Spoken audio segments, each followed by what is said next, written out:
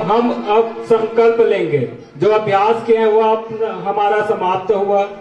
इसी अभ्यास को हम पुनः अपने घर में प्रतिदिन करेंगे। तो आइए संकल्प लें।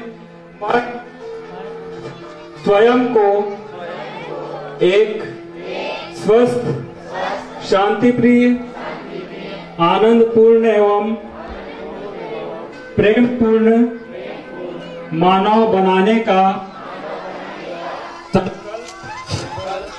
लेता हूँ या लेती हूँ?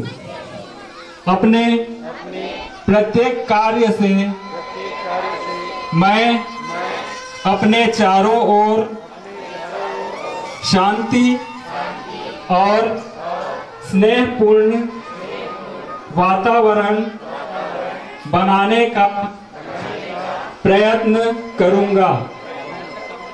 मैं अपने अहम को समाप्त करने का प्रयत्न करूँगा। और पूरे विश्व को अपने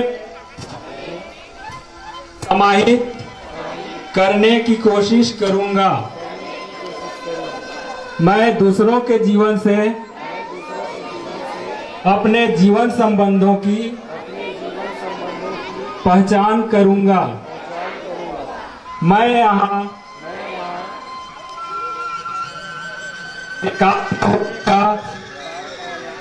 प्रयत्न प्रयत्न करूँगा।